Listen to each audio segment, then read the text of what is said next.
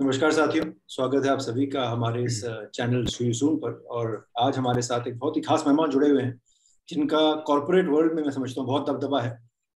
केतन मखीजा एक प्रसिद्ध अधिवक्ता हैं कॉरपोरेट वर्ल्ड के। और हाल फ़िलहाल में ये लिंक लीगल लॉ फर्म है बहुत प्रसिद्ध हमारे भारत की, उसमें पार्टनर भी नियुक्त किए गए हैं। तो ज़्यादा अपना, उनका वक्त न लेते हुए मैं सीधे केतन आप तक बात रखता हूँ कि थोड़ा सा हमारे दर्शकों को अपने बारे में बताइए और अपनी शुरुआती जो आपकी लाइफ जर्नी रही है कहाँ आपकी पैदाइश रही कहाँ पले बढ़े वहाँ से शुरू करते हैं और धीरे धीरे फिर प्रोग्राम में आपकी बाकी लीगल जर्नी और बाकी जर्नी के बारे में विस्तार से बात करें। Thank you so much Jain always a pleasure to talk to you मैं पहले तो ये बोलना चाहूँगा कि मैं दोनों भाषाओं में सम्मिलित होकर बात करूँगा। दोनों हिंदी और इंग्लिश का I'll use them as prop and cudgel and then try to convey my point as simply and cogently as possible. Because मेरे को जब शुरुआत करा था करियर में आ, किसी ने बोला था लॉ स्कूल में ही केतन लॉयर होने का अधिवक्ता होने का एक खास नियम है। जब तक आप अपनी बात को ढंग से रख नहीं पाओ ना चाहे आप कितनी भी अच्छी वोकेबलरी बोलो सही बोलो जब तक दूसरा बंदा समझेगा नहीं तो I think everything is not meaningful तो uh, मैं वही कोशिश करूँगा कि मेरी बात सिंपल हो समझ में आए और मैं कुछ वैल्यू एडिशन कर सकूँ in in this programme to everyone talking a bit about myself, uh, yes, I don't belong to a lawyer family. It happened to me by uh, chance and not by choice. Uh, in fact, I was in uh, Sri Ram College of Commerce after my 12th for a year, where I was doing my BCom honors uh, from a prestigious university and uh, coming from a small town like Agra. Uh, it was culture shock also, and it was a great learning curve as well for me. एक horizon जो आपके खुल जाते हैं ज्ञान चक्षु जो खुल जाते हैं वो बहुत अच्छा एक्सपोजर मिला मुझे। If I'm not wrong, Ketan, I think uh, you you went to SRCC, Sri Ram College of Commerce, जो कि देश के टॉप uh, कॉलेजेस में मेरे ख्याल से उसकी गिनती शामिल होती है और इंडिया का टॉप कॉलेज माने जाता है उसको। बिल्कुल। तो नॉर्थ कैंपस में दिल्ली यूनिवर्सिटी के श्रीराम कॉलेज ऑफ़ कॉमर्स में था। एंड uh, वहाँ पर कुछ मित्र थे जो आगरा से ही थे उनको पता लगा कि हाँ ये लॉ कॉलेज या फिर ये उस टाइम क्लैट नहीं हुआ करता था। उस टाइम हर लॉ कॉलेज का एक सेपरेट एंट्रेंस हुआ करता था सो so, उन्होंने बोला कि ऐसा कुछ करते हैं। और कोइंसिडेंस uh, था कि हम जिस घर में रह रहे थे वहाँ पर जो मकान मालिक थे वो लॉयर थे। तो उन्होंने जो बताया कि भाई ऐसा है एक दिन वो हाई कोर्ट के भी दर्शन कराए उन्होंने तो वहाँ से सोचा कि चलो टेस्ट दे देते हैं। होगा ठीक है नहीं हुआ तो कोई बात नहीं। तो टेस्ट दे दिया 2001 में got through Bangalore got through NALSAR got through energise तो नासा को चुना आफ्टर सम ये लोगों से पूछा पूछा थोड़ा गाइडेंस मिला लोगों से तो नालसा को चुना और वहाँ पे पाँच साल बिताए। और वो काफ़ी अच्छे रहे बिकॉज़ फुली रेजिडेंशियल कॉलेज है सिटी से दूर है मेरे शहर से भी दूर था। और इनफैक्ट मुझे एक एक और चीज़ याद आई मतलब अगर दो मिनट शेयर कर सकता हूँ मैं, एक small anecdote you know that तो जब ट्रेन में जा रहे थे, आंध्र प्रदेश एक्सप्रेस में, आगरा से मेरे पेरेंट्स मुझे छोड़ने जा रहे थे अब हैदराबाद पहुँचने के लिए 22 घंटे की जर्नी है। और उस जर्नी में ऑब्वियसली आप ट्रेन से जा रहे हो, आप वार्तालाप करते हो अपने, जो भी आसपास को यात्रियों से तो पैसेंजर से बात हुई तो उन्होंने ऐसे पूछा कि हाँ भाई पहली बार जा रहे हो? हमने कहा हाँ हैदराबाद पहली बार जा रहे हैं। क्या करने जा रहे हो? पढ़ने जा रहे हैं। कहाँ से हैं? आगरा से हैं। क्या पढ़ने जा रहे हैं? वकालत करने जा रहे हैं। अच्छा वकालत करने आ रहे हैं। आगरा में और किसी स्ट्रीम एडमिशन नहीं मिला होगा, इसलिए? हाँ ऐसे ही कुछ था। फिर बोले कि जो, जो और किसी स्ट्रीम की मेरे ख्याल से आप बात बता रहे हैं और उस वक्त भी जो फाइव इयर्स के लॉ स्कूल थे बहुत एक न्यू फिनोमिनन था इंडिया में। तो आप जो कह रहे हो मेरे साथ भी हो चुका है। क्योंकि अगर किसी को आप बोले कि आप पाँच साल की वकालत करने जा रहे हैं तो जो एक वकीलों की जो हमारी पहले से छवि बरकरार है मार्केट में कि अगर कुछ नहीं करते तो वकालत करते हैं। तो वो थोड़ा सा उसको मेरे मैं समझता हूँ कि आपके और हमारी जनरेशन ने मिलकर काफ़ी हद तक उस छवि को तोड़ा भी है और एक नई छवि मेरे ख्याल से समाज में जागरूक की। बिल्कुल बिल्कुल। एक नई छवि आकर आई है सामने और वो काफ़ी हद तक बरकरार भी है। और उस टाइम एक और बात उन्होंने बोली उस सज्जन ने एक बार बहुत बोली अच्छा लॉ कॉलेज तो आगरा में भी होंगे। अच्छा आगरा में भी एडमिशन नहीं मिला होगा इसलिए हैदराबाद जा रहे हैं तो मैंने कहा हाँ वो किसी और स्ट्रीम में भी नहीं मिला किसी और शहर में भी नहीं मिला बस एक ही ऑप्शन बचा है अब वहीं पे जा रहे हैं। तो कहते हैं अच्छा चलिए all the best but anyway never you know Jain बहुत अच्छा एक्सपीरियंस था पाँच साल का। बहुत ही बढ़िया था क्योंकि वहाँ पे देश के विभिन्न कोनों से लोग आए थे एंड uh, काफ़ी जो आपके एक्सपोजर होता है वो south India north India west सारे लोगों के और कुछ फॉरेन स्टूडेंट्स भी थे जो लेवल ऑफ़ इंटरेक्शन था लेवल ऑफ़ डायलॉग था वो काफ़ी अच्छा था टीचर्स बहुत अच्छे थे। तो पाँच साल कैसे निकल गए पता नहीं लगा। तो वहाँ से एक फोर्थ ईयर में ही जी जी कंप्लीट कीजिए फिर मैं पूछता हूँ अगला अच्छा तो फोर्थ ईयर में एक अपॉर्चुनिटी मिली तो उस टाइम क्या हुआ कि यूके की लॉ फर्म्स काफ़ी एकदम से आने का प्रचार कर रही थी यू नो कि they were attracting the Indian talent so to say from the national law schools so I was the first one from NALSAR first ever student from NALSAR to be placed in Herbert Smith और any other UK firm and I got this contract training contract जिसको हम बोलते हैं fourth year तो fourth year थोड़ा सा smoothly हमने ले लिया ठीक है चलो अब तो हो गया है। बट फिफ्थ ईयर में एक opportunity I P and law office के साथ इंटर्नशिप uh, करने की। तो उस टाइम उस फर्म को काफ़ी अच्छा अभी भी बहुत अच्छी फर्म है। Undoubtedly it's one of the very niche boutique firms तो वहाँ पे मौका मिला। बहुत अच्छा था। Level of responsibility level of respect level of learning तो वहाँ पे दो महीने की इंटर्नशिप अच्छी मिली। तो फिफ्थ ईयर बाद मैंने कुछ टाइम उन्हें ज्वाइन करा और उसके बाद मैं हर्बर्ट स्मिथ चला गया।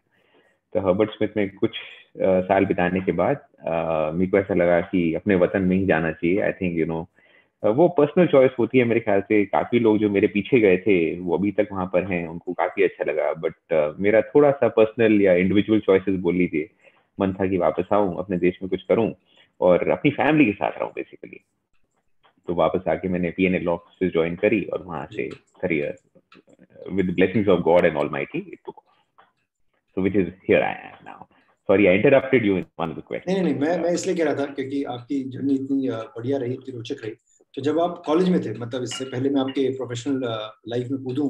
और वहाँ पे थोड़ा सा छानबीन और टटोलना शुरू करूँ तो थोड़ा सा नालसार की आपकी लाइफ को जान लेते हैं क्योंकि बहुत मैं समझता हूँ बच्चे हैं जो आप हमारे चैनल को फॉलो करते हैं नॉन लॉयर्स भी हैं जो फॉलो करते हैं तो उनकी समझ के लिए मैं आपसे पूछना चाहता हूँ कि जब आप नालसार में पढ़ रहे थे और तब के नालसार में और आज के नालसार में हो सकता है आप आज के बच्चों से इंटरेक्ट करते हो, चाहे वो इंटर्नशिप में आपके पास आते हो या बतौर जॉब लेने आपके पास आते हो इंटरव्यू देते हो। तो एक, मेरे दो सवाल है। पहला, उस वक्त की पाँच साल की पढ़ाई में जब आप नालसार में थे और आज की जो पाँच साल की पढ़ाई है, क्या कुछ क्वालिटी में डिफरेंस आया है? पहला तो ये।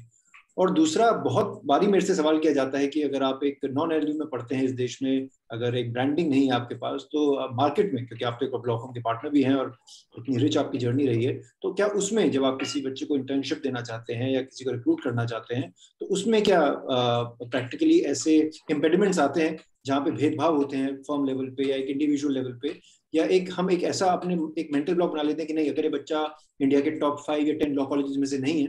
तो या तो हम इसको इंटर्नशिप इसको नहीं देंगे या इसको कंसिडर नहीं करेंगे या फिर ये जो हमारी फर्म में जॉब लायक नहीं है। ऐसी बहुत धारणा है तो मैं समझता हूँ कि आप एक बेहतर इंसान है तो पहले तो आप मुझे अपने कॉलेज के उस दौर के बारे में और आज का जो दौर चल रहा है उसके बारे में बताएँ। और फिर ये जो जनमानस की जो धारणा बनी हुई है इसके बारे में कुछ रोशनी भी सो ठीक है। दोनों क्वेश्चन का मैं आइटमाइज रिस्पॉन्स दूँगा। So Jayant first question first number one जो पहले हमारा दौर था जो लेवल ऑफ़ कंपटीशन था जो इन्वायरमेंट था मार्केट का, वो तो मुझे पूरा पता है।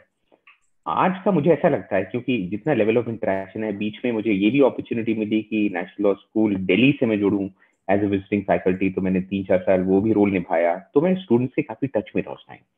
और नालसर में भी मैं विजिटिंग फैकल्टी था तो वो तो ऑब्वियसली उतना नहीं हो पाता था बट जब भी महीने के महीने जाते थे तो वो भी जुड़ाव बना रहता था।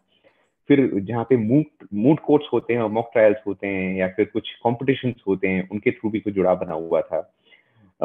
अनफॉर्चुनेटली uh, वो तीन चार साल से वो टूट गया है because of my increase in responsibilities कह लो या फिर uh, थोड़ा सा पर्सनल लाइफ कह लो। बट uh, उस टाइम तक का मैं बता सकता हूँ। So I can compare that से 2016 17 environment until then and 2001 to 5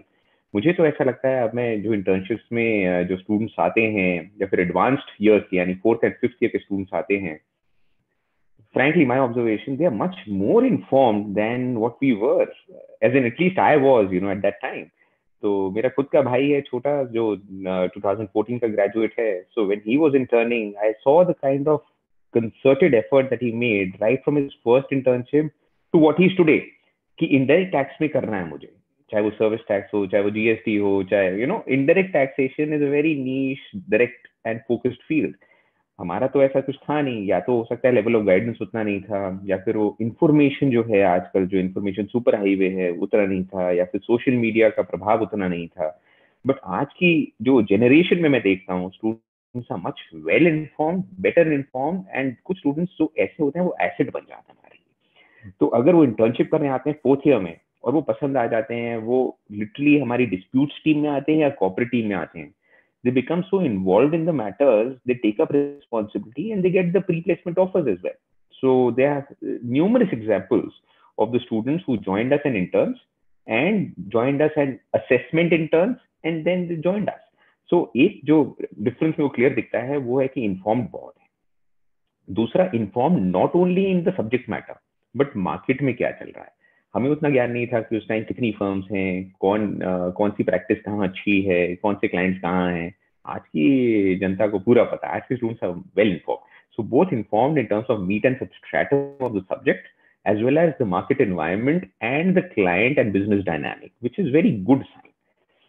And number three of course वो तो इंडिविजुअल है कि मेहनत कितनी करते हैं बट मेरे को ऐसा लगता है कि पहले जो हम हार्ड वर्क करते थे आजकल स्मार्ट वर्क बहुत करते हैं which is good which increases the efficiency and effectiveness of the work product. So I have no qualms so long as the work is getting performed in the right manner, the process is right, everything is perfect. So मुझे तो एक जो upward movement है towards the north वो दिख रहा है तो ये जो मैं देखा है कुछ साल पहले तक तो ऐसा ही ट्रेंड देखा है मैंने और दूसरा क्वेश्चन जो जयंत आपका है कि हाँ ब्रांड इमेज या brand positioning of the law schools कितनी मैटर रखती हैं कि अगर हम वो दो चीज़ों पे डिपेंड करता है। एक तो आप जिस फर्म में हैं तो वहाँ पे क्या स्ट्रक्चर है प्रोटोकॉल है प्रोसीजर है। तो जैसे पहले मैं जिस फर्म में था, उसमें मैं कॉपरेट प्रैक्टिस लीड कर रहा था तो हमने अपने प्रोसेस खुद बनाए थे उस टाइम क्योंकि वो उतनी बड़ी फर्म नहीं थी। तो हम फोकस करते थे उस इंटर्न पे कि हाँ जहाँ पे हम सीवी आए, जैसे फिफ्टी सीवीज आते हैं, बहुत सारे सीवीज आते हैं, उसके बेसिस पे से जो हमें दिख रहा है जिस तरह लिखा हुआ है जिस तरह कवर लेटर लिखा हुआ है जिस तरह आपका इंटर्नशिप पहली हुई हुई है तो अगर फिटमेंट बैठा है तो उसमें से फिफ्टी में से, से आठ या नौ सिलेक्ट कर लिए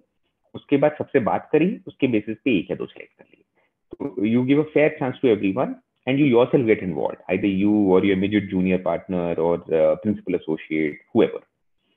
बड़ी फर्म्स में थोड़ा सा ये होता है कि एक टीम बनी होती है एक एच आर टीम होती है, एक एडमिन टीम होती है, या फिर बी डी टीम होती है पी एस एल बोलते हैं professional skills and learning team तो वो कुछ देखते हैं कि हाँ इस लॉ कॉलेज को इतना वेटेज देंगे तो रिक्रूटमेंट थोड़ा सा वहाँ से भी होता है। आई विल नॉट डिनाई कि ऐसा नहीं होता कि हाँ कुछ प्रेफरेंस दी जाती है जो नेशनल लॉ स्कूल्स हैं बट अगेन यू नो ऐसा नहीं है कि वो पहला स्टेप होता है। So once they are in so once an Amity person I will not make name sorry once a non-law school person and once a law school person is in, then they are totally judged, assessed, and examined on the basis of merit. Then we forget. Once they are in the system, then they have to prove the merit. वो ये नहीं कह सकते कि नहीं जी हम तो ये कर चुके हैं पहले नहीं जी हम तो इस बैकग्राउंड से आते हैं नहीं जी हमने पिछली इंटर्नशिप में हमने स्टेलर रैंकिंग ली थी you have to perform on an every day basis you can not rely on your past earn laurels so that is the clear policy that you follow आप जो है वो आपको प्रूव करना पड़ेगा and once you prove it there is no hold back then will give you the offer also then you are integral and important part of the team so ये बाकी हर proper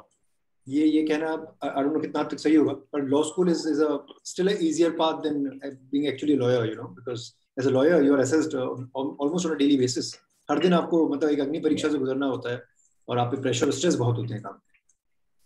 हर level पे होता है। Jayant I can't agree मो हर level पे होता है। जब आप एसोसिएट होते हो एनक्यू लेवल से एनक्यू से ए ज़ीरो ए ज़ीरो से A one A two A three फिर S A S A one S A two जितनी मतलब ट्रेड्स होती है हैराकी में, फिर the equity partner which is the pressure always keep mounting it never goes less Ketan आपसे थोड़ा सा आपकी मेमोरी लेन में पीछे चलते हैं। जब आपको हर्बर्ट स्मिथ का ऑफ़र आया और आप यूके गए तो उस टाइम जब आपने अपने करियर की शुरुआत की तो कैसा एटमोसफियर था? यूके में जब आपने अपनी ट्रेनिंग शुरू की एज अ फ्रेश लॉयर और as a fresh training I would say जब आपने अपना करियर शुरू किया तो कितना प्रेशर आप लिया करते थे काम को लेके? और जो आपके सीनियर्स थे सीनियर एसोसिएट्स होंगे पार्टनर्स होंगे वहाँ पे, या बाकी जो फ्रेटर्निटी फ्रेटर्निटी के लोग होंगे इंडिया से गए हुए मित्र वगैरह, उनसे आपको कितना सपोर्ट मिला, कितनी गाइडेंस मिली विदेश में, जब आप बतौर एक वकील वहाँ पे अपना, अपने, अपना करियर शुरू किया सो उस टाइम एक एडवांटेज थी जयन सो एक क्यूएलटीटी टेस्ट हुआ करता था और अगर आप वो क्लियर कर लेते थे you can immediately enrol yourself in the roll of solicitors of England and Wales जो मेरा हो गया था. So I was qualified to practise within year तो पहले वो दो साल का इमीडिएट जो ट्रेनिंग होती है कंपल्सरी वो नहीं था. अब है शायद वो. सो उस टाइम एक और फ़ायदा था कि उस टाइम नालसार के तो लोग नहीं थे बट एनएलएस के तीन चार जो फ्रिटर्निटी के लोग थे काफ़ी अच्छे फ्रेंड्स बन गए और सीनियर्स थे वो ऑफकोर्स तो वहाँ से बहुत अच्छा गाइडेंस मिला। बट दो तीन जो मैंने स्टार्क डिफरेंसेस देखे क्योंकि मैं यहाँ पे काम कर चुका था करीब दस ग्यारह महीने एक फर्म में दिल्ली बेस्ड फर्म में। तो ऑब्वियसली अगर आप यूके की लॉ प्रैक्टिस करने जा रहे हैं, और वहाँ की लॉ आपको पढ़ने में ऑब्वियसली कॉमनवेल्थ सिस्टम है तो काफ़ी इंटरसेक्शंस होते हैं, काफ़ी ओवरलैप्स होते हैं। बट अल्टीमेटली आप यूके लॉ प्रैक्टिस कर रहे हैं चाहे वो कंपनीज़ एक्ट है चाहे वो लिस्टिंग uh, वाले L P D T rules हैं जो भी है मैं कैपिटल मार्केट्स में था तो मुझे उसका ज्ञान ज़्यादा है। बट uh, वहाँ की जो फर्म का सेटअप है यहाँ पे मैं था एक ट्वेंटी लॉयर फर्म में। वहाँ पे मैं जिस फ्लोर पे था उस पर ही सात सौ लॉयर थे। तो the kind of difference there was the kind of super specialisation there was the kind of distinct lawyers at every level there was was finely different एक तो ये बहुत स्टार्क डिफरेंस था। यहाँ पर तो एक जनरल कॉर्पोरेट टीम थी, तीन चार लोगों की, वो कर रही थी काम। चाहे वो एडवाइजरी मैटर हो, चाहे वो ऑपरेशनल मैटर हो, चाहे वो ट्रांजैक्शनल मैटर हो, चाहे वो डेफिनेटिव डॉक्यूमेंटेशन हो, चाहे वो ओपिनियन हो, वहाँ पर हर चीज़ का एक अलग बंदा था। तो extreme super specialisation and number two of course regard the size एक दायरा भी जो आपके वो होराइजन होते हैं, वो भी काफ़ी बड़े थे। तो यहाँ पर हम क्लाइंट्स हमारे इंडियन थे ऑफकोर्स बट वहाँ पे जो स्ट्रक्चर्स होते थे, जैसे वहाँ पे दो ट्रांजेक्शन पे जिसमें I was fortunate enough to be a part of the team for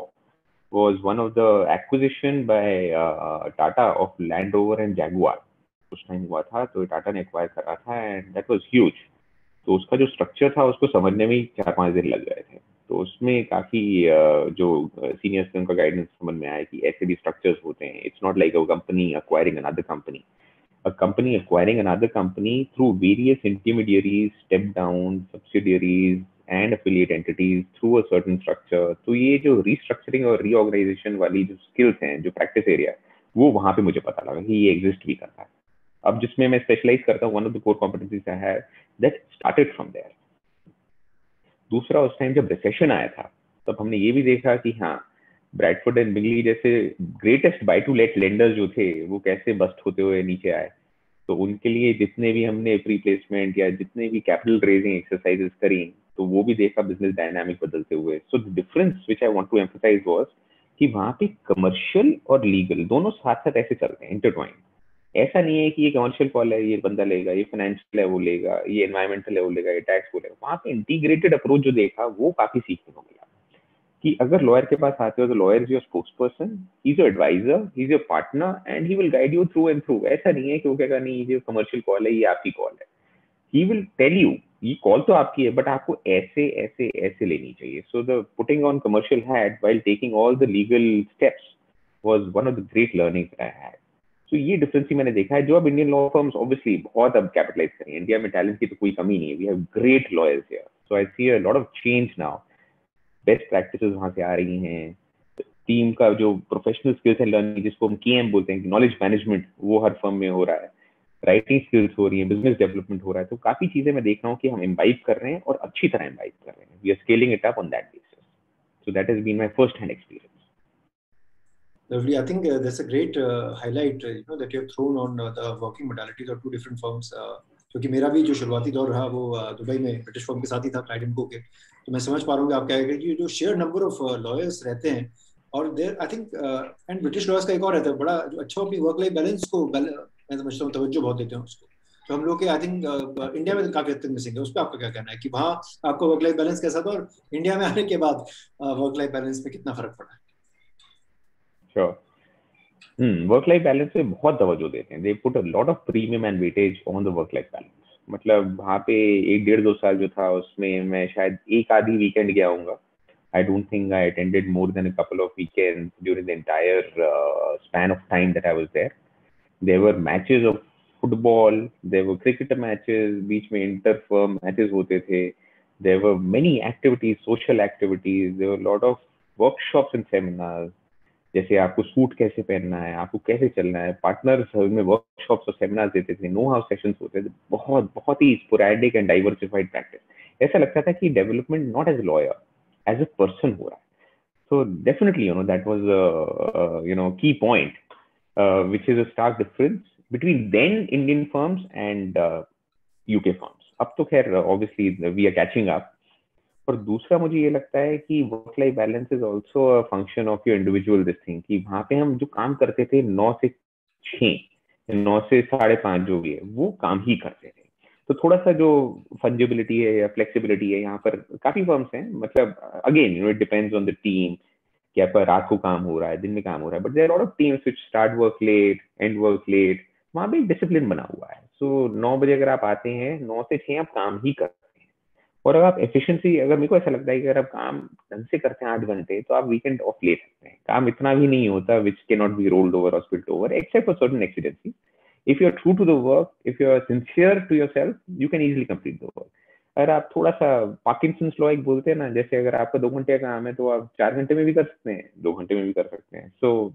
थोड़ा सा अगर वो एटीट्यूड चेंज करें तो I think you know we can also follow that model so जैसे मैं शाम को जाता हूँ तो मैं स्क्वाश और बैडमिंटन खेलने जाते ही कोविड ने थोड़ा सा अपसेट करा है उसको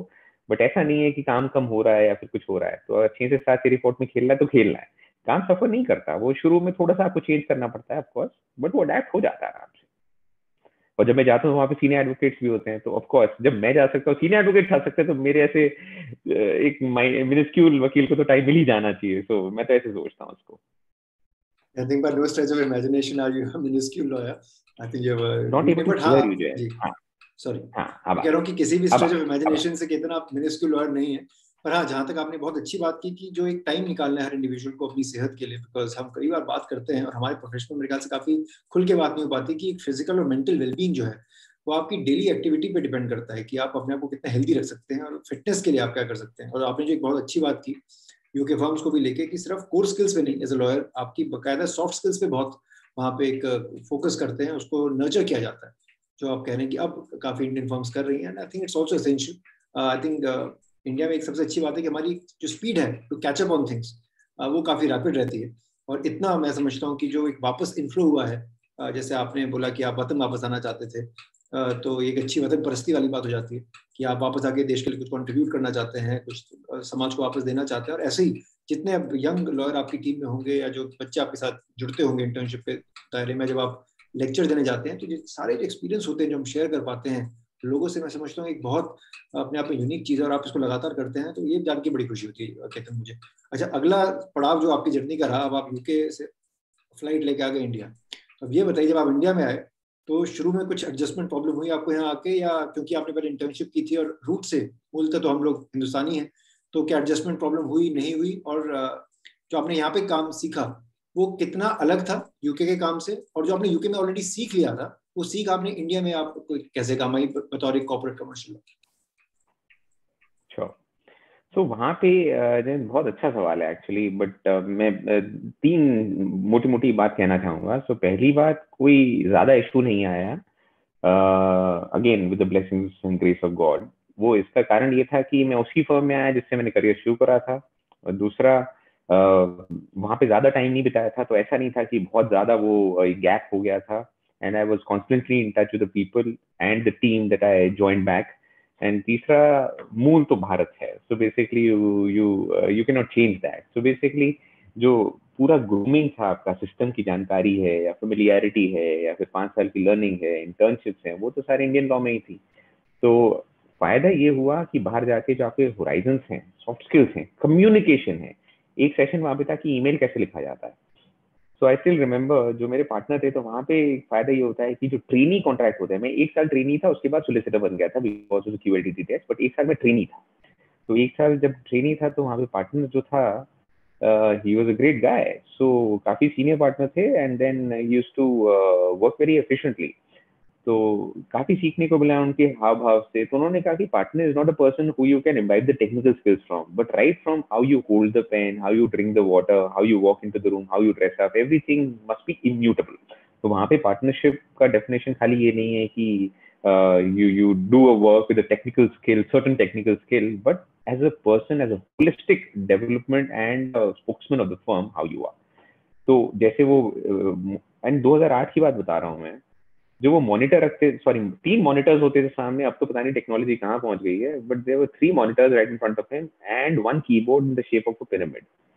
to which I asked him you know मेरे को समझ में नहीं आया कि आप ऐसे ऐसे टाइप कैसे करते हैं? तो कहते हैं you know every finger is suppose type a certain key and you should not overlap because it reduces your efficiency तो the highlight of that work was you know कि एंड मैं इतना बड़ा मेल लिख रहा हूँ उन्हें और वो जवाब देते थे वाई वाई मतलब यस so मतलब he was like, you know, you don't need to write such long emails. Velocity है ये, flamboyance of language है, इसकी आवश्यकता नहीं you convey the point in simple English और धीरे बोलो मतलब जो communication में चाहे वो बोलने वाली हो, चाहे वो written वाली हो, चाहे वो comprehending हो, सारी skills में थोड़ा tips तो मिली थी। तो उसका फ़ायदा भी हुआ। जब यहाँ पर आए तो ऐसा लगा कि हाँ I can align my communication skills because ultimately this is a profession way you utilise your skills of common sense your technical skills and your communication skills in a judicious blend तो third leg से काफ़ी फ़ायदा मिला and Indian firm में obviously आपको responsibility ज़्यादा मिलती है। वहाँ पर आप 700 में से एक वकील हो, यहाँ पर 20 में से एक वकील हो तो obviously it's a share number game so if you are part of the then of course you have to take a larger share of responsibility तो उसमें काफ़ी फ़ायदा हुआ। तो आपकी एफिशिएंसी जब इंक्रीज होती है तो you can take a larger responsibility and you can work towards the desired outcome in a better way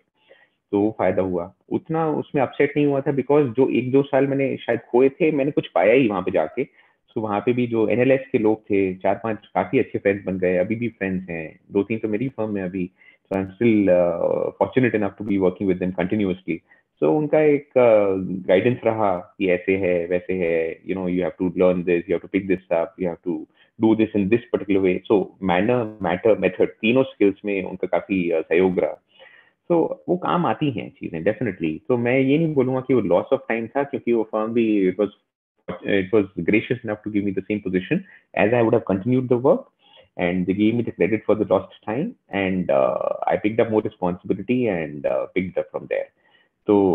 communication uh, skill से बहुत फ़ायदा हुआ जिस तरह मेल लिखनी है पार्टनरशिप सॉफ्टवेयर स्किल से बहुत फ़ायदा हुआ कि हाँ क्लाइंट मैनेजमेंट कैसे करना है ऑल्दो उतना रोल था नहीं मेरा क्लाइंट मैनेजमेंट का 2011 में जब मैं वापस आया but yes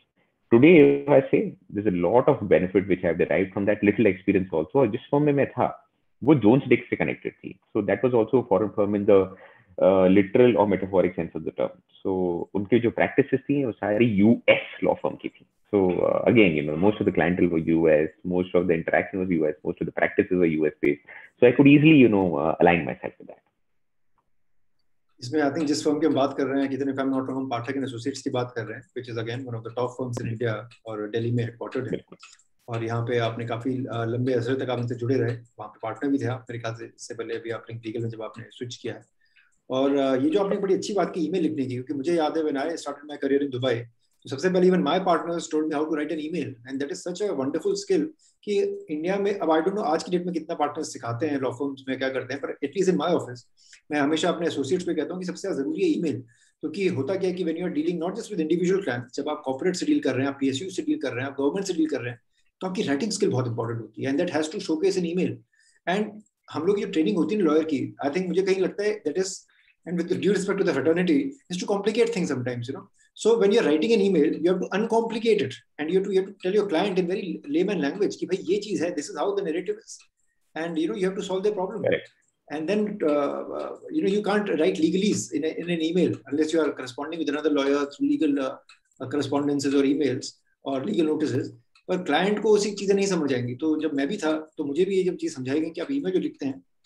वर्बोस नहीं होनी चाहिए बहुत लंबी नहीं होनी चाहिए उसको आप दस पेज की ना लिखें you have to be very crisp तो I think that the art of being succinct I think is is very very important तो मुझे लगता है कहीं ना कहीं यू नो हम लोग के लॉ स्कूल में भी शायद पढ़ाई नहीं जाती चीज़ें।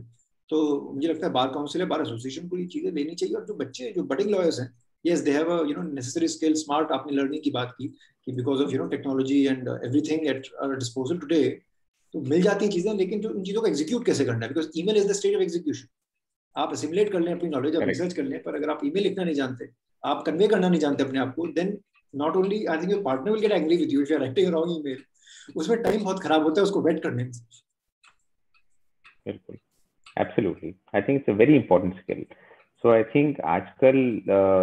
कुछ लोग होते हैं जो थोड़ा कॉम्प्लिकेट भी करते हैं um, मेरे ख्याल से this is very important skill to simplify and write the email which conveys the message तो ये जो आर्ट होती है कि आप बड़ी सी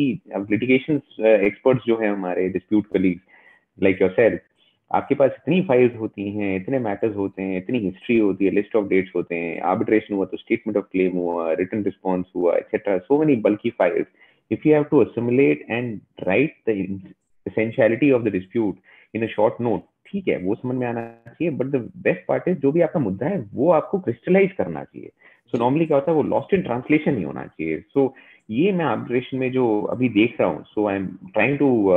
diversify and extend my skills to arbitration as well especially the treaty arbitration international commercial arbitration क्योंकि जो हियरिंग होती है, मैं देखता हूँ बाहर के जो क्यूसीज हैं क्वींस काउंसिल हैं या सीनियर बैरिस्टर्स हैं, हमारे जो सीनियर एडवोकेट्स हैं the way they actually position proper and proposition the entire formulate the thought process वो समझ में आता है कि हाँ इसमें ये क्वेश्चन ऑफ़ लॉ है, ये क्वेश्चन ऑफ़ फैक्ट है, ये एविडेंस में जाएगा, ये एडजुडिकेशन में जाएगा। तो वो जो क्लैरिटी ऑफ़ थॉट है, ऐसा लगता है कि मेंटल पैलेस है। उसमें आपने ब्रेकअप कर दिया है सिंप्लीफाई कर दिया है। वहाँ से एल्गोरिथम निकल के आ रहा है। इस एल्गोरिथम की इस लाइन में ये क्वेश्चन मार्क है, उसको डिस्कस करना है डेलिब्रेट करना है डिसाइड करना है। So it's so mathematical so you know so logical I would say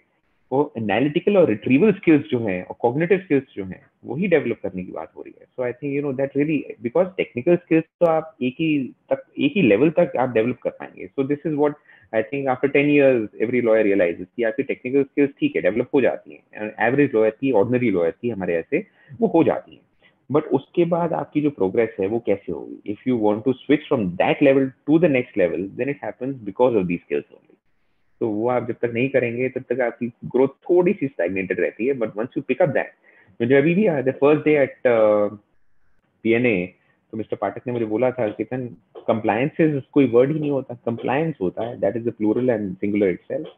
compliance requirements बोल लो. सो मतलब स्मॉल स्मॉल टिप्स जो आपके दिमाग में रह जाती हैं। सो so, जैसे आपने बोला जैन की मेंटल डेवलपमेंट बहुत एसेंशियल है। तो मेंटल डेवलपमेंट इसी को तो बोलते हैं कि आप मेंटल डेवलपमेंट किस तरह कन्वे करते हैं, कैसे समझते हैं, कैसे एंटिसिपेट करते हैं? जैसे शतरंज खेलते हैं आप तो दूसरे की चालें कैसे एंटिसिपेट कर रहे हैं? दिस इज़ ऑल्सो बिसात और जतरंज ओनली कि आप दूसरे की मूव कैसे एंटिसिपेट करें कैसे स्ट्रेटेजाइज कर रहे हैं, कैसे टैक्टिकली कर रहे हैं, कैसे प्रोसेस कर रहे हैं? दैट्स ऑल सो जितना आप एक्सपीरियंस और अपनी स्किल्स को ब्लेंड करके आगे स्ट्रेटेजी बनाएँगे, उतना ही क्लाइंट खुश होता है। डोमेस्टिक क्लाइंट्स वैसे भी आपको पता है they all experts in their own right and they are so उनको अगर आपको कन्वे और कन्विंस करना है, उनको विन ओवर करना है तो you have to really get something on the table otherwise आप एक रखेंगे रिपीट मैंडेट्स नहीं ला पाएँगे तो केतन इस सवाल पे मैं आऊँगा, आपने बहुत अच्छा ये किया डोमेस्टिक और इंटरनेशनल क्लाइंट इसके फ़र्क को भी थोड़ी देर में जानेंगे। और पाठक की जर्नी क्या चलते हैं कनौरिया ग्रुप जहाँ पे आपने काफ़ी लंबा समय बिताया और बहुत सारे, क्योंकि तो आप एक बड़े कॉन्ग्लोमरेट के पार्ट थे। इसके बारे में जरा हमें कुछ बताइए कि कितनी तरह की जिम्मेदारियाँ आप वहाँ पे हैंडल कर रहे थे? Because I understand that you juggling a lot lot many roles wearing different hats you know just being a lawyer I would say will be an understatement in this particular side हाँ that was the steepest learning curve Jain to be very honest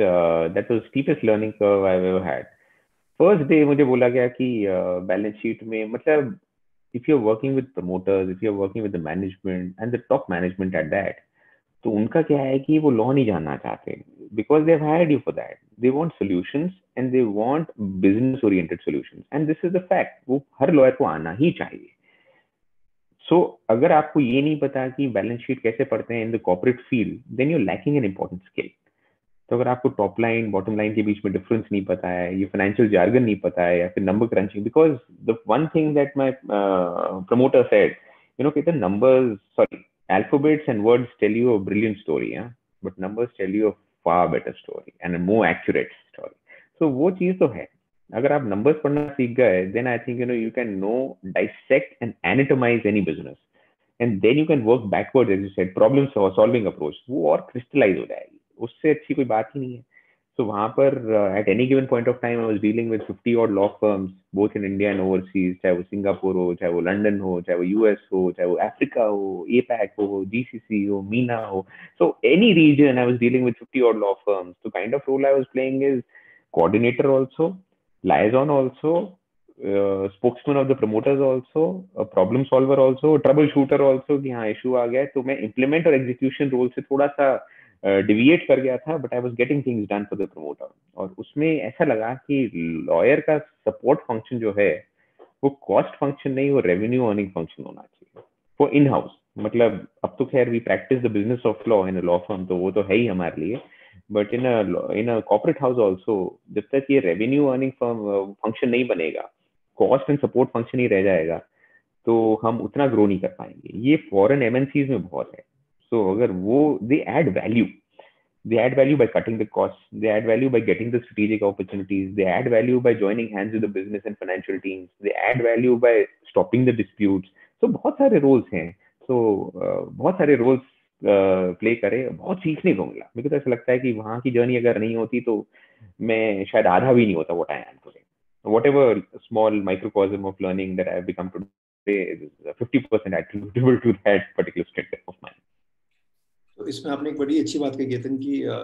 आपको balance sheet पढ़नी आनी चाहिए accounting की थोड़ी information है समझ होनी चाहिए। तो ये मान कर मान लीजिए मेरे जैसा कोई वकील है, और वो कहता है यार, या कोई नया वकील है जो शुरू करना चाहता है कहता है, मुझे भी एक कंपनी को असिस्ट करना है या इन हाउस रोल करना है, और आपने तो इतना मेजर रोल वहाँ पे निभाया तो क्या उसके लिए कोई एडिशनल कोर्स करने की ज़रूरत है या L L B sufficient in itself ये सो बेसिकली जैन, मेरे को अभी तक याद है जब मैं नासा में था so I got the opportunity to go ahead with the Rhodes scholarship withdrew my application uh, because I got the Herbert Smith uh, training contract. तो ऐसा लगता है कि या तो आप लर्निंग ऑन द फ़ील्ड कर सकते हैं या फिर आप कोर्स भी कर सकते हैं या फिर दोनों कर सकते हैं। सो so, मैंने लंदन बिज़नेस स्कूल में कोर्स भी करा था दस दिन का। छोटा ही कोर्स था sponsored by the company they asked me to go it was like you know good learning wherein I network more than I learn but learning on the job से कोई का मुकाबला नहीं है। So basically the good part about Indian is learning on the job आपको इतनी मिलती है। सो so आप जब तक ट्रायल्स एंड ट्रिबुलेशन से नहीं लर्न करते हैं I still remember my first day in the private practice एक गोल्डमैन सैक्स का डाइवेस्टमेंट हो रहा था from London sorry New York sorry NSC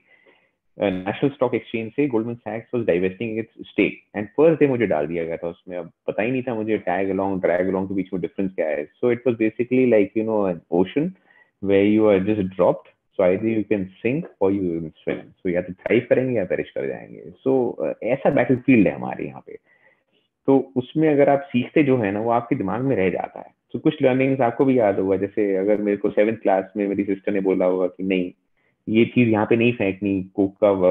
can नहीं फेंकना वापस उठा के लाओ। So that stuck with me so they are defining moments of your life so certain anecdotes teach you more than you can ever learn in the books uh, in theory. So practical learning काफ़ी हुई। So balance sheet की जो knowledge आई, जो financial statements वो काफ़ी सहयोग चाहिए मतलब काफ़ी हेल्प चाहिए मुझे। तो वहाँ पे जो बिज़नेस लोग उनके साथ बैठते थे, उनके साथ समझते थे सी एफ़ ओज के साथ सी आई ओज के साथ, उनके एनालिस्ट के साथ कि भाई ये क्या होता है एक्सेट्रा बट वो लर्निंग हो जाती है because when they tell you practical examples कि भाई ये है ये है नोट्स टू काउंट्स ये है। बैलेंस शीट में एसेट साइड ये ऐसे होती है कैपिटल के दस तरीके ऐसे होते हैं उसको काउंट करने के लिए। तो वो लर्निंग जो है वो शायद स्कूल्स uh, में उतनी टेलर्ड या कस्टमाइज वे में नहीं सिखा पाएँगे। मेरे को ऐसा लगता है। मेरे से किसी ने एक सवाल किया था कहते और मैं ये सवाल मैं आप तक भी रखना चाहता हूँ कि जो हमारे लॉ स्कूल में बच्चे पढ़ते हैं, उनका कोर फोकस या तो इन हाउस रहता है या लॉ फर्म्स रहता है या लिटिगेशन या आईडीआर आप मान लीजिए। और कोई बिज़नेस हाउसेस की तरफ़ कम मैंने देखा कि इंक्लिनेशन होती है आई डोंट नो अभी कितना लोग लॉ स्कूल्स करते हैं but I keep telling people कि आपके जो फाइव ईयर्स के भी बच्चे हैं या थ्री ईयर जो भी लॉ ग्रेजुएट्स हैं अंडर ग्रेजुएट्स हैं, उनको आप किसी बिज़नेस हाउस या किसी लाला के यू नो फैक्ट्री में भेजिए। अगर आप इंडिया में है और लाला फैक्ट्री है, लाला जी चलाते हैं, कोई फॉरेन एमएनसी है, वहाँ पे भेजिए ताकि उनको बिज़नेस कैसे काम करता है उसकी समझ नो वेदर यूर लिटिगेटर और यूर कॉर्पोरेट लॉयर जब तक आपको बिज़नेस की समझ नहीं है, आप अपने क्लाइंट की कैसे मदद करेंगे? तो वहाँ पे जो इंटर्नशिप का स्कोप है लेट्स से कि आप एक बिज़नेस पर्सन है, आप लॉयर नहीं है तो do you think these MNCs and the home grown lala companies are also open to the fact कि हमें एक लॉयर को भी as an intern at least train करना चाहिए और मोडालिटी समझानी चाहिए, ताकि tomorrow they can contribute and I think not only in in understanding the law better but also it's a indirect process of nation building you know absolutely correct so दो चीज़ें होती हैं। सो so, uh, थोड़ा सा फ़ायदा ये हुआ मुझे कि जिस ग्रुप के साथ में था दैट वाज डाइवर्सिफाइड इन 20 और बिज़नेस वर्टिकल्स तो आपके जो realms and spaces of business activity थी वो काफ़ी वेरिड थी। तो मोनोटनी जो है वो सेट इन नहीं हुई। लर्निंग कांस्टेंट एंड कंटिन्यूस रही। जैसे आप फर्म में होते हैं you have various clientele unless you super specialise say in a particular field you have IT clientele, you have ITES clientele, you have projects, energy, infra, so many fields. तो आपका different client experience होता है तो business की जानकारी आपको different verticals में आती है. अगर मान लीजिए आप फॉर एग्ज़ाम्पल एक ई कॉमर्स प्लेटफॉर्म पे हैं तो आपको उसी में स्पेशलाइजेशन तो कभी कभार ऐसा पॉसिबल है कि मोनोटनी आ जाए और आपकी लर्निंग थोड़ी सी स्टिंट हो या फिर स्टिल्टेड होने लगे या फिर स्टैगनेट होने लगे. तो this is a choice every individual has to make for themselves but ultimately ये है कि यस जब तक आप प्रूव कर देते हैं कि यू आर वैल्यू क्रिएटिंग जिसको बोलते हैं अभी हम बैलेंस शीट की बात कर रहे थे if you prove that you are an asset to an organisation they would want to retain you at all cost so foreign MNCs में ये देखा गया है कि जितने भी कंप्लायंस सेक्रेटेरियल और रिस्क मिटिगेटिंग मेजर्स होते हैं वो बहुत सीरियसली लेते हैं। They put in the SOPs, policies, procedures, protocols within, and they adhere to it very, very, very, very uh, by the book. बाकी जो जैसे आपने बोला डोमेस्टिक वाले प्रमोटर्स होते हैं etcetera they look for different skill set you know कि हाँ इसमें डिस्प्यूट्स है मान लीजिए कोविड हुआ उसमें आपका पैसा अटक गया तो आपके दो तरीके हैं या तो आप पैसा निकलवाएँ या फिर सेटल करें so somebody who's like a general counsel can take a very tactical view कि हाँ यहाँ से पैसा निकल जाएगा इसके लिए ऐसा केस करें इसको खड़ा करें वो ऐसे निकलवा लेगा ऑर्डर आ जाएगा पैसा रिकवर हो जाएगा या फिर वो कहेंगे नहीं यहाँ पे नहीं हो पाएगा तो सेटल कर लेते हैं। कुछ हेयर कट लेके या डिस्काउंट लेके या फिर कुछ यू नो डिस्कशन करके। So that is the skill that they look at कि हाँ कितना बिज़नेस से अलाइन हो कितना बिज़नेस को समझ रहे हो। सो so, अगर आप बिज़नेस में so basically the message for the people aspiring to join business groups is एक तो आपको उसकी बिज़नेस की खूब जानकारी होनी चाहिए। Do your homework you can definitely learn on the job but yes the moment you start learning and thinking like a businessman, your journey starts right there. And then you see कि आपको वहाँ पे क्या issues आ सकते हैं and then how can you be a value creating asset there. A dispute preventer, a cost controller, a remedy agent, जो भी आप word use करना चाहें, how can you be a total true business partner in the real sense? Then you are fit for the role. क्योंकि कुछ लोग होता है उनकी inherent skills जो होती हैं वो राइटिंग में होती हैं या डिस्प्यूट्स में होती हैं आर्ग्यूमेंट में होती हैं। सो so, ये फिफ्थ ईयर तक I think you know law school में हर बंदे को इंडिविजुअल को पता लग जाता है कि this is what I am cut out for और नहीं लगता है तो एक दो साल में और लग जाता है। When you dabble in few things then you know कि हाँ यार मेरा इंटरेस्ट वहाँ पर है मेरी विलिंगनेस यहाँ पे है मेरा नीच यहाँ पे क्यूमन यहाँ पर है। अगर आपको पता लग गया then you choose the path yourself so if you think that you know you are more from a business background आप वैसा सोचते हैं that is the place for you sky is the limit if you think like litigator litigator of course you know कि हाँ कैसे आप argue कर सकते हैं कैसे आप केस को आगे बढ़ा सकते हैं then that's skill for you for myself I decided कि हाँ I think you know I am blend of business and finance so i think you know this is where i should be i can uh, probably you know create more innovative and creative solutions for my clients and help them achieve the business outcome in a simplistic cost effective and efficient manner so इसलिए उसकी राह पे चल दिया आगे and still going on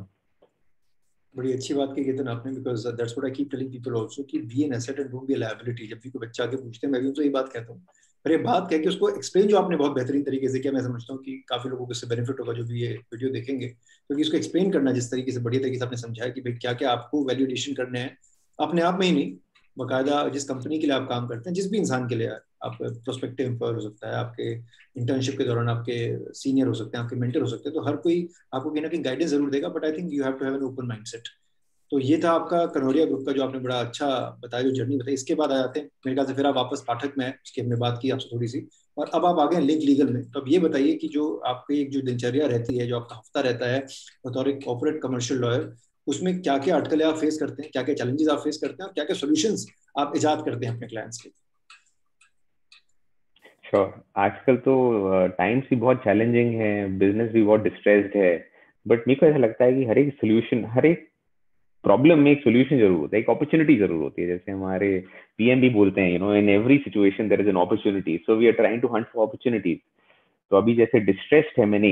distress merger and acquisition practice बहुत develop हो रही है।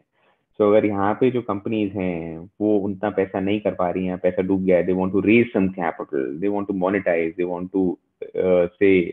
do some asset monetization or divestment of their asset to raise some capital उसके लिए इतने तरीके हैं। सो बेसिकली एफ़ तरीका है फॉरन पोर्टफोलियो इन्वेस्टमेंट है ए आर सीज हैं ए एम सीज हैं एन बी एफ़ सीज हैं। सो ये हम ईजाद कर रहे हैं। सो बेसिकली अगर बाहर से कैपिटल अट्रैक्ट करनी है। How to make it a more value creating and an attractive proposition from the foreign investors is a great opportunity for the corporate commercial lawyers, which is what we're exploring. And we have been successful also to a large extent. Similarly, Link Legal जो firm है वो projects infrastructure में energy में airports में railways में ports में काफी बड़ा नाम है they have good credential and client base in that Which is uh, what my core sector was when I was with the Canoria Group, क्योंकि वो इंफ्रा में और फाइनेंशियल सर्विसेज़ में काफ़ी बड़े नाम है।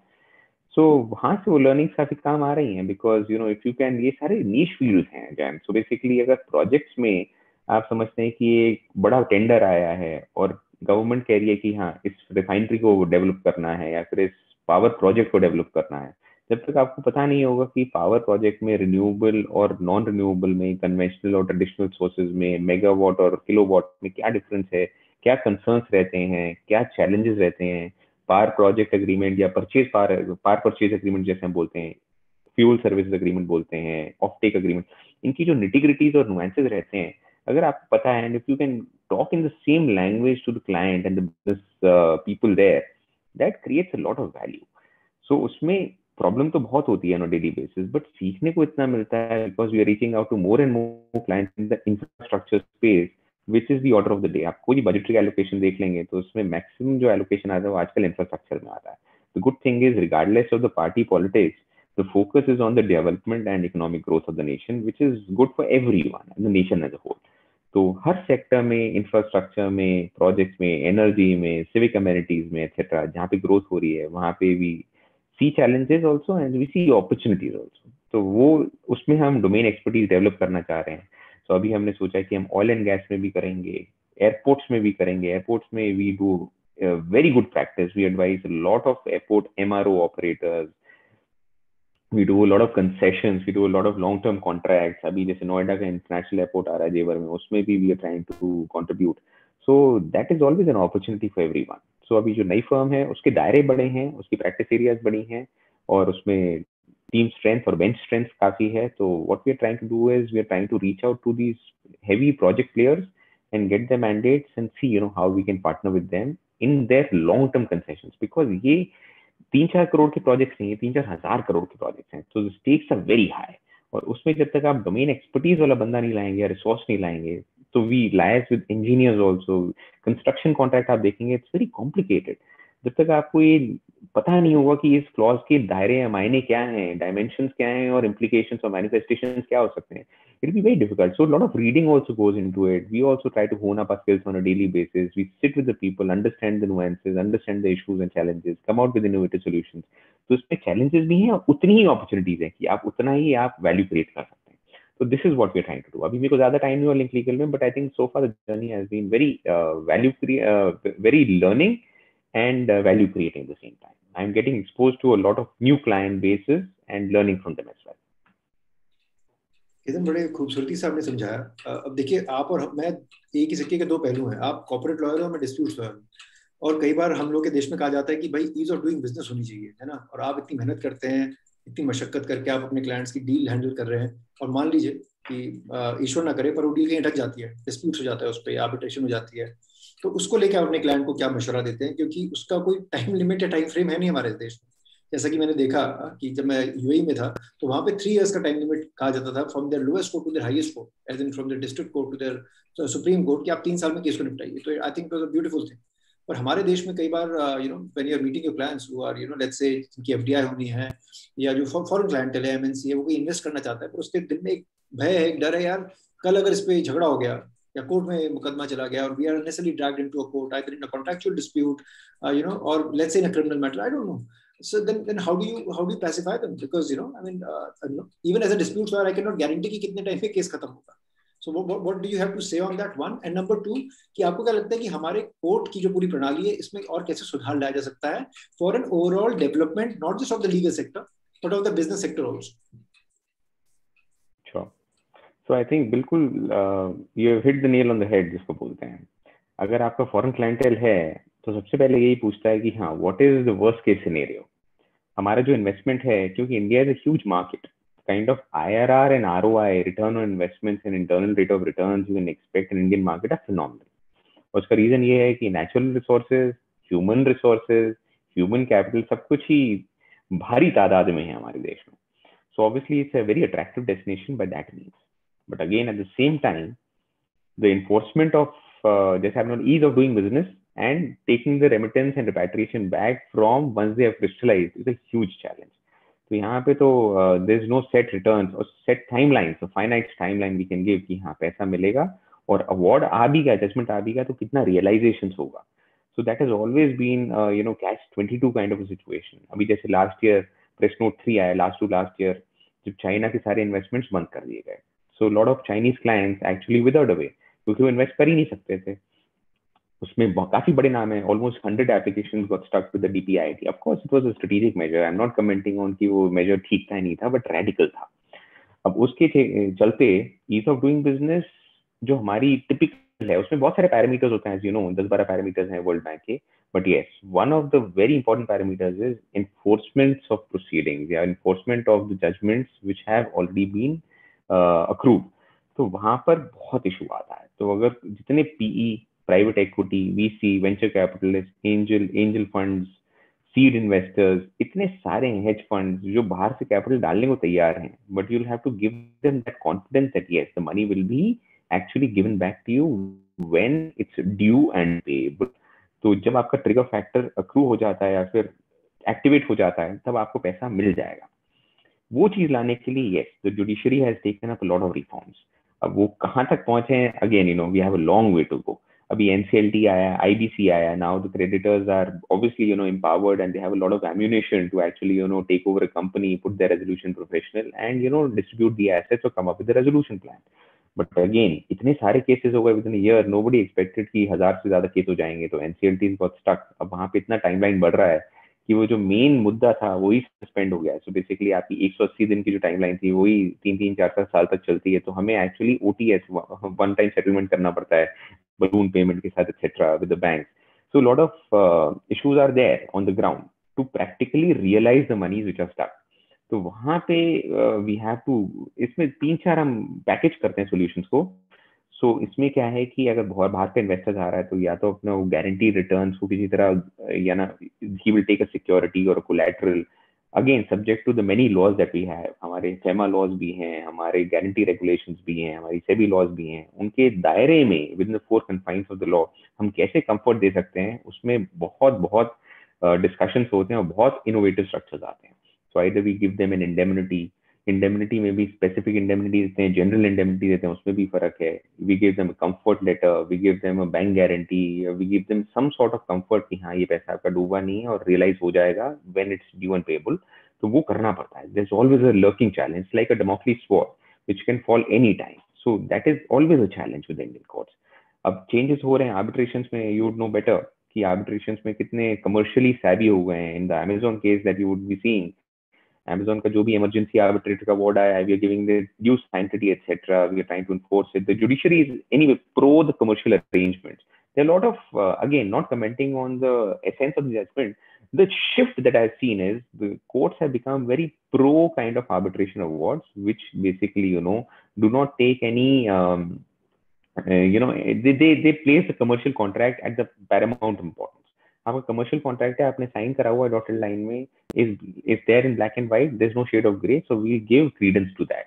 पहले जो कोर्ट में जाता है, वो काफ़ी लंबा हो जाता है। सो कमर्शियल कॉन्ट्रैक्ट में जितने भी हम देख रहे हैं डिस्प्यूट रेजोल्यूशन में everybody is preferring fast track और normal arbitration that too under the auspices of an institution which is well known ताकि जल्दी से अवार्ड आए, जल्दी से एनफोर्स हो और जल्दी से पैसा आए। उसमें काफी सॉल्यूशंस भी देते हैं as I said you know we can club the solution supplement the solutions with a lot of comforting factors also वो भी हम ट्राई कर रहे हैं कि ऐसा करने but ease of doing business does remain a problem although we have taken a lot of steps it does still remain a problem because of the sheer number of cases, because of the sheer number of innovations, क्योंकि यहाँ के promoters बहुत बहुत smart हैं. They always are two steps ahead of the regulators.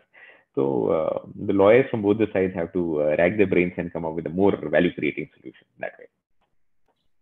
एक सवाल जो हमने पहले किया और जिस, जो आपने अभी एंड बात की कि जो एक फ़र्क है हमारे domestic you know business house houses में और एक फॉरेन हाउसेज में because you know when you working within the nation you know you know you sometime know the डूपोस in the law and sometimes you know what is going to be what is going to be miss in you know prospective law तो उसको उसको लेके आपको क्या लगता है कि ज़्यादा परेशानियाँ होती हैं कम परेशानियाँ होती हैं? And is it good for business और bad for business as a lawyer sorry Jayant last एक बार बोलेंगे क्वेश्चन को? सॉरी आई मिस्ड इट आवाज़ कट रही थी थोड़ी right right so I am I am saying कि जैसे हमारे जो डोमेस्टिक बिज़नेस हाउसेस हैं you know as against the foreign business houses तो जब आप इन दो तरह के क्लाइंट से डील करते हैं and because you know as you rightly said that two steps ahead sometimes you know part of policy making or they are part of uh, the power circles or you know power to be so as to say. तो उनमें और जो foreign आपके जो clientele हैं उनमें आपको ज़्यादा क्या लगता है which is which can be more tactfully handled? Or which are more upfront uh, about the dealings, uh, you know, with with their lawyers. Ki, bhai, you know, this is our problem. Give us a solution. or you know or is it more difficult to deal with the local uh, clientele saying that look we already know the solution but you implement it so how, how does it work in, in uh, you know the yeah. corporate field of law correct yeah the expectations of domestic clients versus the mnc clients can be very different can be very digressing kabhi kabhi to bilkul 180 degrees ki bhi ho jati hain uh, again there's no norm there but yes generally kuch observations तो definitely हैं जो आपके MNC clients होते हैं दे look for कि हाँ हमें और टैक्स एफिशिएंट और रेगुलेटरी एफिशिएंट स्ट्रक्चर बताइए इस तरीके से हम करेंगे in strict compliance with the law etcetera and we will also place reliance on the documentation of it इसमें जो लॉयर का रोल है कि हाँ ड्राफ्ट कर रहे हैं वेट कर रहे हैं आइटरेशन बना रहे हैं मार्कअप कर रहे हैं फाइनलाइज कर रहे हैं डॉक्यूमेंटेशन को, उसमें काफ़ी वेटेज देते हैं। Domestic clients again not generalising but general observation basis limited experience I been able outcome भाई, ये आउटकम है डॉक्यूमेंटेशन ठीक है, क्या कहता है एसेंस समझा दीजिए। ये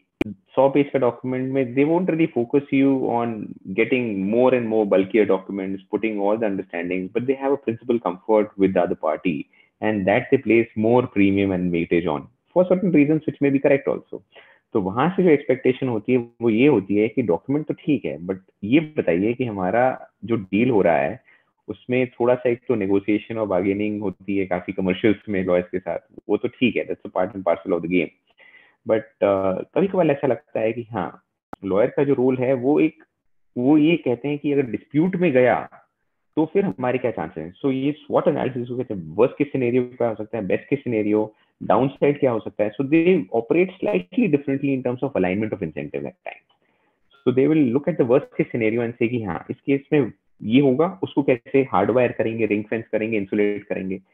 वहाँ वाली पार्टी टिपिकली ऐसे कहती है, ठीक है once we achieve this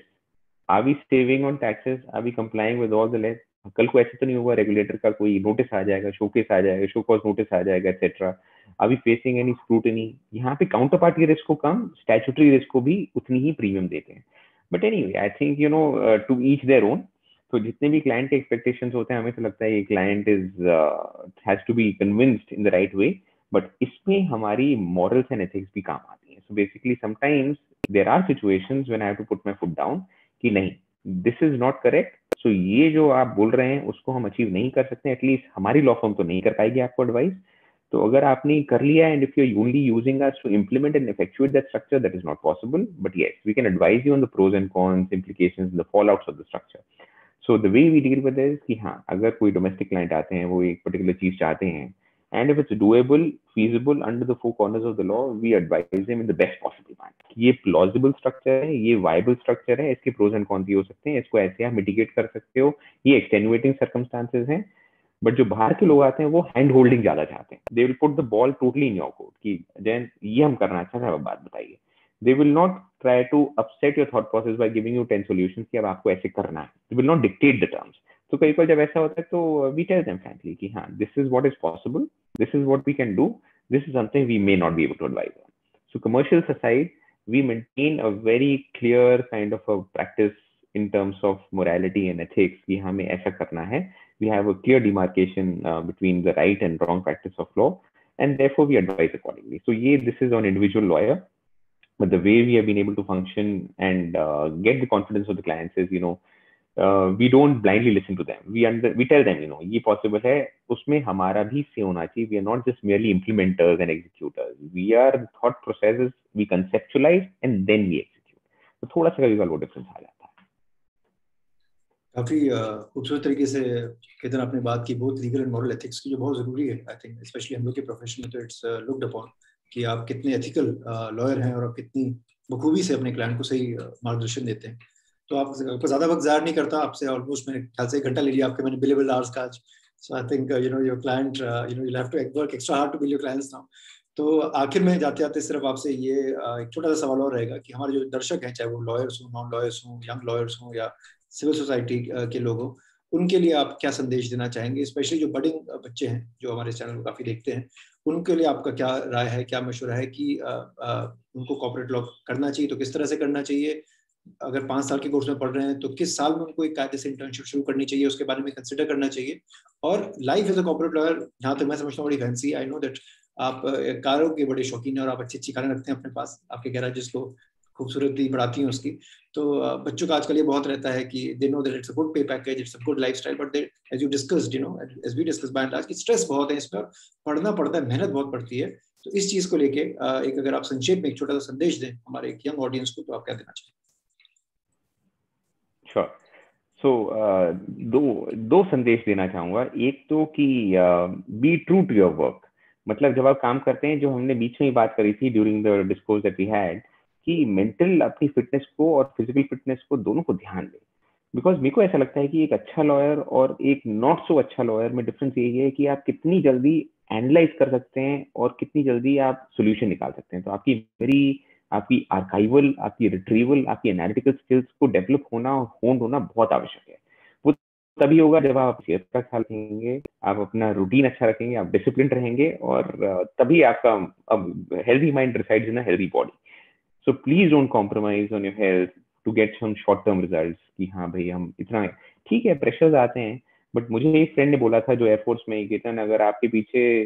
तुम टी भी नहीं जानते टेंशन का। जब मैंने उसको अपने फोर्थ ईयर ऑफ़ प्रैक्टिस में बोला था कि मैं बहुत टेंशन में हूँ तो इस आप टी भी नहीं जानते हैं बिकॉज़ मैं बैटल ग्राउंड में रहता हूँ, मेरे तीन मशीन गन रहती हैं so you don't talk about tension you don't even know the T of tension so this is something I have taken to myself कि हाँ टेंशन नहीं करना you work if you have to take stress then you do something instead, you know, instead of taking stress. So please don't take stress and try to develop your mind in the best possible way and number two as we जो हमने last में touch करा, अपने morals और ethics को please compromise मत करिए। So I think you know that is how you known in the market at least in the long run because पीछे अगर आपका इज़्ज़त बनी हुई है and there is a good lawyer client भी आपके पीछे आ जाएँगे। पैसा क्लाइंट फ्रिटर्निटी सब आपके पीछे आएँगे। Showcase exhibit and maintain yourself as a dignified lawyer and dignified human being that's most important lawyer बाद में हो पहले ह्यूमन बींग आप इस वर्क करो and then of course everything will come your way with the blessing of God that's about it thank you thank you so much Ketan for giving us your valuable time and thank you you know specially to our audience for you know subscribing to our channel एक बार आपका फिर से धन्यवाद करता हूँ केतन और uh, आशा करता हूँ कि uh, आप अपनी फर्म को और तरक्की के राह पे ले जाएँ। पर्सनली भी प्रोफेशनली भी आप uh, कारगर हो, और दिन दोगुनी और रात चौगुनी आप तरक्की करें। इसी के साथ अलविदा लेते हैं। Till next time see you soon